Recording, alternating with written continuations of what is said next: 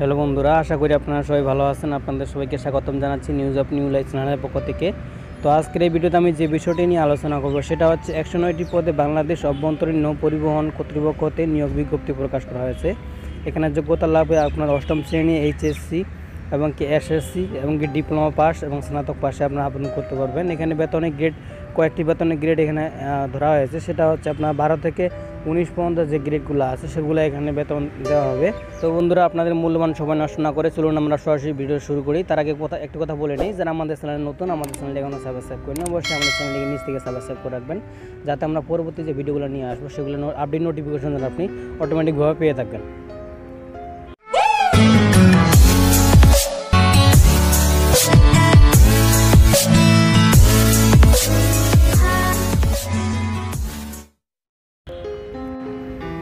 তো বিয়ার্স এটা হচ্ছে সার্কুলার আমরা পুরো শোনাচ্ছি আপনাদের। বাংলাদেশ নৌ অভ্যন্তরীণ নৌ পরিবহন কর্তৃপক্ষ একশো একচল্লিশ থেকে একশো তেতাল্লিশ Motijheel B by A Dhaka এক হাজার নিয়োগ বিজ্ঞপ্তি নং জিরো ওয়ান বাই দুই হাজার বিশ। তো এখানে বাংলাদেশে অভ্যন্তরীণ নৌ পরিবহন কর্তৃপক্ষ বিআইডাব্লিউ টি এ এর দশটি ক্যাটাগরিতে একশো নয়টি শূন্য পদে নিয়োগের নিমিত্তে বাংলাদেশের নাগরিকের নিকট থেকে অনলাইনে দরখাস্ত আহ্বান করা যাচ্ছে।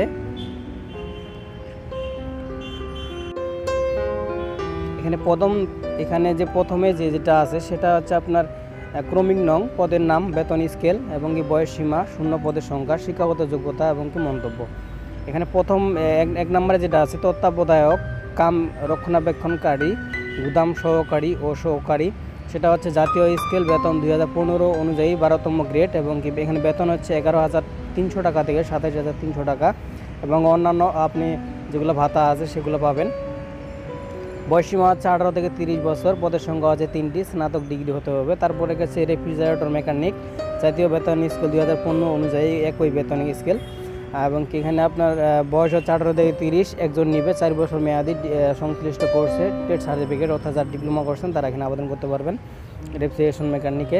তারপর হচ্ছে তিন নম্বরে যেটা নিম্নমান সহকারী মুদ্রা খরিক এই বেতন স্কেল এখানে ষোলোতম গ্রেড নয় হাজার তিনশো টাকা থেকে বাইশ হাজার চারশো নব্বই টাকা আঠারো হাজার আঠারো থেকে তিরিশ বছর বয়স হতে হবে এবং পদের সংখ্যা হচ্ছে দুইটি, উচ্চ মাধ্যমিক সার্টিফিকেট এবং সার্টিফিকেট সহ টাইপিংয়ের জ্ঞান থাকতে হবে কম্পিউটার টাইপিংয়ের তারপর যেটা আছে মেডিকেল অ্যাটেন্ডেন্ট জাতীয় বেতন দু হাজার পনেরো অনুযায়ী ষোলোতম গ্রেড এখানে নয় হাজার তিনশো টাকা থেকে বাইশ হাজার চারশো নব্বই টাকা এবং আঠারো থেকে তিরিশ বছর বয়স হতে হবে এবং পদের সংখ্যা হচ্ছে একটি। সনদপ্রাপ্তদের দুই বছরের অভিজ্ঞতা সহ এসএসসি এবং কি? কম্পাউন্ড শিট সনদধারী হতে হবে। তারপর যেটা আমরা লক্ষ্য করতেছি পাঁচ নম্বরে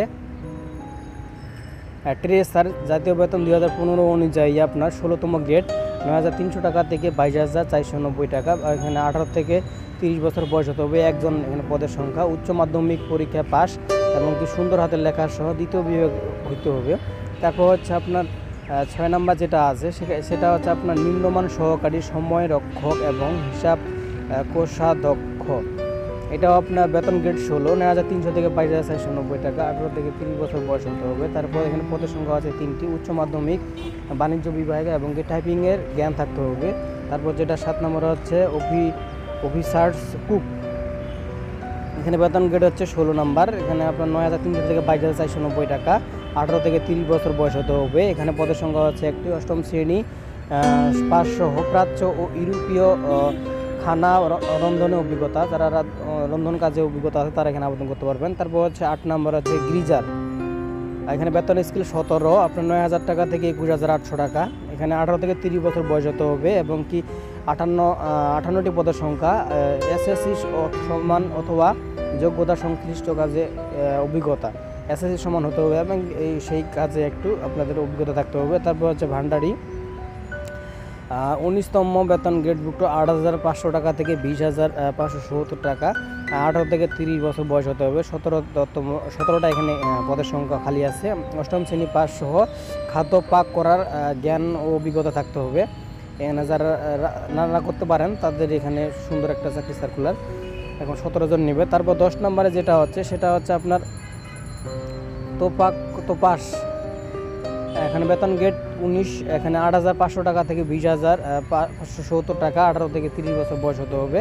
এবং প্রত্যেকটা পদে আপনারা অন্যান্য যে ভাতাগুলো আছে সেগুলো আপনারা পাবেন। তারপর হচ্ছে বাইশটি এখানে পদের সংখ্যা, অষ্টম শ্রেণি পাস এবং পরিষ্কার, পরিচ্ছন্ন কাজে অভিজ্ঞতা থাকতে হবে। তো বন্ধুরা, আমি ভিডিও ডিসক্রিপশন বক্সে এরকম একটা লিঙ্ক দিয়ে রাখব। ভিডিওটা সার্কুলারের লিঙ্ক দিয়ে রাখব এবং অ্যাপ্লাই লিঙ্ক দিয়ে রাখব। আপনারা যদি এই সার্কুলারটা ডাউনলোড করতে চান, তো এরকম একটা পিডিএফ ফাইল আপনারা ডাউনলোড করে নিতে পারবেন।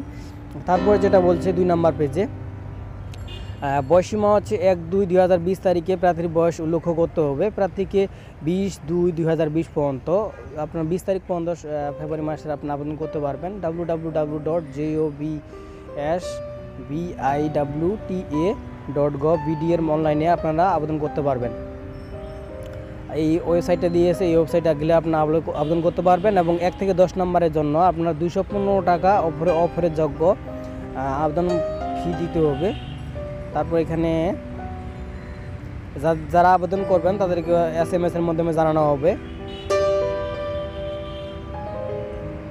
এবং আরেকটা কথা বলছে, যারা মুক্তিযোদ্ধা বা অন্যান্য শহীদ মুক্তিযোদ্ধার সন্তানের ক্ষেত্রে তিরিশ থেকে বত্রিশ বত্রিশ বছর হলে হবে। তারপরে তারপর বলছে যে, মুক্তিযোদ্ধাদের নাতি, নাতিনদের ক্ষেত্রে তিরিশ বছর বয়স।